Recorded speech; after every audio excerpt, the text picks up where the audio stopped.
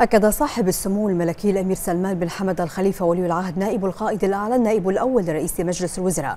أكد أن تواصل خطى البناء والتقدم في إطار المسيرة التنموية الشاملة يسير على مرتكزات وطنية رسخها حضرة صاحب الجلالة الملك الوالد حمد بن عيسى الخليفة حفظه الله ورعاه.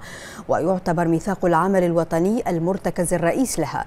قال سموه أن هذه الوثيقة الوطنية التاريخية التي أجمعت عليها إرادة أبناء البحرين انبثقت منها العديد من البرامج والمبادرات التي تجسدت واقعا ملموسا كمكتسبات يستمر العمل بالتزام ومسؤولية على جميع المستويات من أجل البناء عليها وتحقيق المزيد منها لبلوغ أهداف المستقبل من أجل الوطن وأبنائه.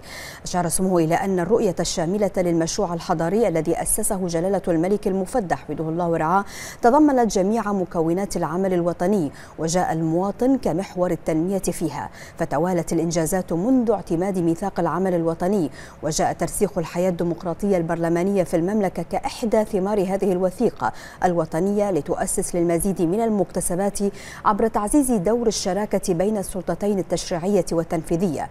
جاء ذلك لدى زيارة سموه حفظه الله مساء اليوم يرافق سمو الشيخ محمد بن سلمان بن حمد الخليفة إلى مجالس كل من عائلة كانو وشوقي فخرو وعائلة العريض حيث بارك سموه لأصحاب المجالس والحضور بحلول شهر رمضان الفضيل معربا عن سروره بلقاء الجميع في هذه الأيام المباركة. فالتواصل بينه في خلال هذه المجالس في المجتمع البحريني يعكس الترابط القوي والمتين بين كافة مكونات المجتمع التي تجتمع على حب الوطن والحس بالانتماء والتمسك بقيم الوسطية والتسامح والتراحم.